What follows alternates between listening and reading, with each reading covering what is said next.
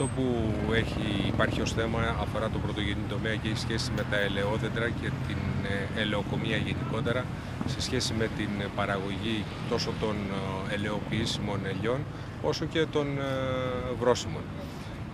Έχει σχέση με, τις, με την παρατεταμένη ανομβρία η οποία ξεκίνησε από τους καλοκαιρινούς μήνες Σεπτέμβρη και συνεχίστηκε Σεπτέμβρη και μέχρι σήμερα τον Οκτώβρη. Ε, σε συνδυασμό με τις ε, υψηλές θερμοκρασίες που υπήρξαν τους τελευταίους δύο μήνες ε, έπαιξαν ένα καθοριστικό ρόλο στην δημιουργία αυτού του φαινομένου. Ε, υπάρχει ένα σημαντικό θέμα το οποίο το κατεντολήν του Περιπεριάρχη Πελοποννήσου το παρακολουθούμε στενά και εγώ προσωπικά ως αρμόδιος αντιπεριφερειάρχης με τις, με τους, με τις κατατόπους διευθύνσεις αγροτικής οικονομίας της Περιφέρειας Πελοποννήσου και με τους αρμόδιους διευθυντές.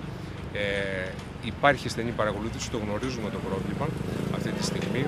Ε, ήδη από εχθές ε, και σήμερα σε κάποιες περιοχές και κατά τόπους έβρεξε, όχι ικανοποιητικά παντού.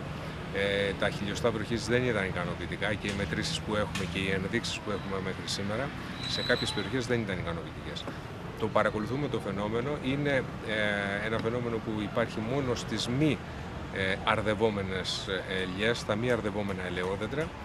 Ε, είναι κλιμακούμενο και οπωσδήποτε είναι και εξελισσόμενο και θα δούμε ανάλογα και πώς θα πάνε και οι βροχοπτώσεις τις επόμενες ημέρες. Οι περισσότεροι αγρότες ε, έχουν τα, τις ελιές τους σε ορεινές περιοχές. Ναι, ε, παίζει ρόλο και ο σταθμός και αυτό που λέμε εμείς ε, ε, σταθμός εννοούμε και οι εδαφολογικές και οι κλιματολογικές και το υψόμετρο. Ανακή υγρασία. Ναι. Ε, συνθήκες. Ε, οπωσδήποτε παίζει ρόλο και το έδαφος και η κοκομετρική σύσταση που υπάρχει στο έδαφος για τη συγκράτηση υγρασίας κλπ. Πέραν όμως αυτών, ήδη εχθές συγκάλεσα υπό την Προεδρία μου σύσκεψη, η οποία διεξήχθη στην έδρα της Περιφέρειας Πελοποννήσου στην Τρίπολη, ε, με τους αρμόδιους διευθυντές των Διευθύνσεων Αγροτικής Οικονομίας όλης της Περιφέρειας Πελοποννήσου. Αναλύθηκε διεξοδικά το ζήτημα, τέθηκαν ε, οι προτάσεις και οι ενέργειες οι οποίες πρέπει να γίνουν, να σας ενημερώσω, σε ό,τι αφορά την αντιμετώπιση της, ε, του προβλήματος, σε ό,τι αφορά το, τη ζημιά ναι. που θα προκύψει για να διεκδικήσουμε τυχόν αποζημιώσεις. Ε, και οι προτάσεις οι οποίες έχουν γίνει να κάνουμε κάθε δυνατή προσπάθεια διεκδίκησης τέτοιων αποζημιώσεων από την κεντρική εξουσία.